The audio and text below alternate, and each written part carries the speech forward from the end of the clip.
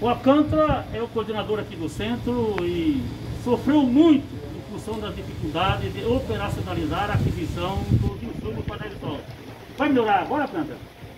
Bom, com certeza tá? nós vamos aqui para frente já ter uma. Né?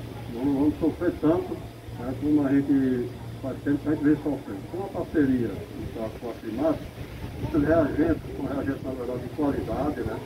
Que vêm até de, de fora do estado, né? empresas da fábrica, direto da fábrica, então a gente vai ser muito importante e vamos poder atender aos pequenos e aos grandes produtores. Quem chegar com as amostras aqui, né, de solo, vai ser uma, na área de pastagem, como na, no caso da Primato, né, como foi falado, é, recuperação de pastagem hoje é a senha certa, recuperar a pastagem, não desmatar mais, então isso é que é importante.